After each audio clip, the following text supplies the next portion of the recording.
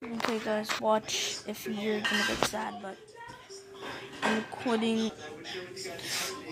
I'm quitting. It's just video I do gaming. This is gonna be really emotional, but sorry guys, but I have to. I'm quitting this channel. This is something I do. So go watch all my videos on the channel to support Attack 0792 gaming fam. I'm sorry, but when you like something, you have to let it go in your life. It's very emotional.